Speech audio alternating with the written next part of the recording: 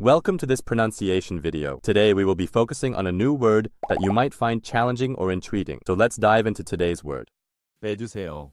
which means, Please remove it in Korean. let's say it all together. 빼주세요. 빼주세요. 빼주세요. One more time. 빼주세요. 빼주세요.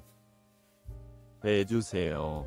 Thank you for joining us on this adventure in pronunciation. Remember, language is a journey, not a destination. Keep exploring, experimenting, and expanding your linguistic horizons. We'll see you next time.